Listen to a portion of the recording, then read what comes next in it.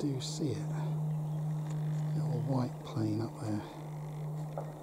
Noisy little thing, there we go. I'll have to wait till it comes out of this cloud, see what it is. 4.21 pm, heading towards Balsham, so kind of heading south, east, I would guess. Where are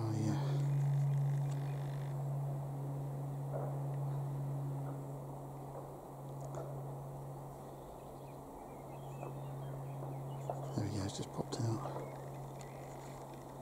Can I see it or not? There we go, how's that for a bit of camera work? A miracle to get that. That was 110,